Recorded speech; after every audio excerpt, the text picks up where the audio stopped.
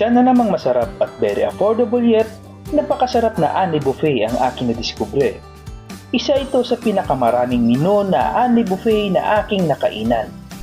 Welcome po sa Tio Buffet Restaurant and Event Place. Yung aking napuntahan, ito pong branch nila na matatagpuan sa San Rafael, Bulacan. At sa halagang 249 sa adult, 200 sa senior at 125 sa child ay eat all you can na. Ang daming food na pwedeng pagpipilian. Pagpasok mo pa lang, makikita mo talagang pinaganda yung place. Napakamaliwalas ng paligid at parang pang-hotel ang buffet setup nila. Malaki espasyo kaya hindi kayo magsisiksikan. At isa din sa napansin ko, napakalaki ng free parking nila dito kaya kung may dala kayong mga sasakyan ay wala pa kayong problema. Maliban dito sa San Rafael, Meron pa pong dalawang branch yung Teodoricos Eat All You Can. Meron po silang pwesto dito sa Malolos, Bulacan at isa din po sa Plaridel, Bulacan.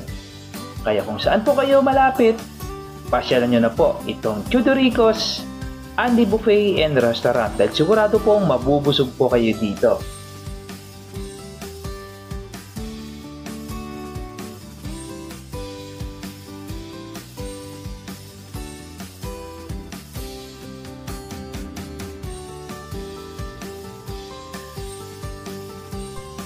Kaya payo ko po sa inyo, bago kayo pumunta dito, huwag po kayo magpakabusog dahil sigurado pong mabubusog kayo dito pag ito po ang inyong kinain katulad po ng mga sumusunod na menu nila. Mayroon po silang sabaw, nido soup, minudo, buttered mixed vegetable, mixed seafoods, of course yung fried chicken, crispy kari-kari na napakasarap, sutanghon, pansit, special, at assorted po na grilled dishes. Meron din po silang salted pork, butter garlic chicken, lechon kawali na napakalutong, at chicharong bulaklak na napaka-crunchy. Pwede po siyang lumpiang Shanghai, dim sum, vegetable salad, at assorted po na mga pastries at mga kakanin. Meron po silang fruit jelly, mango jelly, melon jelly, at buko pandan. So disclaimer lang po ng lahat po ng mga pagkain nila dito at mga menu ay nagbabago po yan araw-araw. Depende po yan sa availability ng produkto at mga source nila.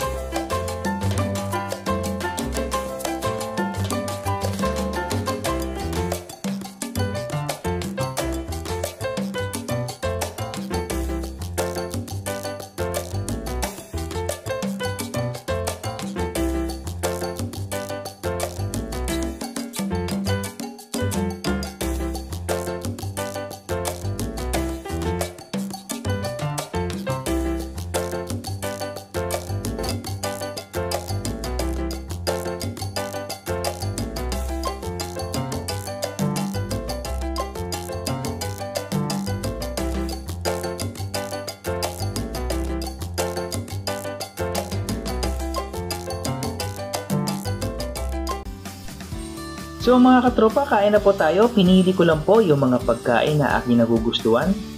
Pwede naman pong bumalik pag ikaw po'y nabitin. Kumuha lang po tayo ng pagkain na kaya po nating ubusin.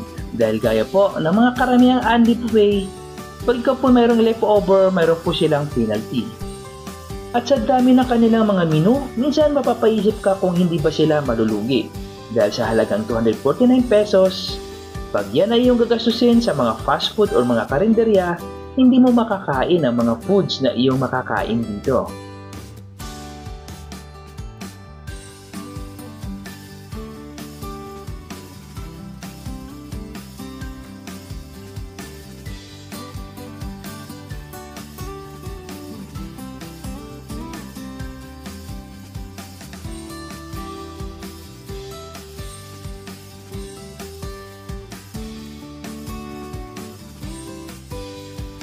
Mayroon silang function room na matatagpuan sa pangalawang palapag para sa mga special na araw tulad ng birthday, kasal, binyag, at mga private conferences.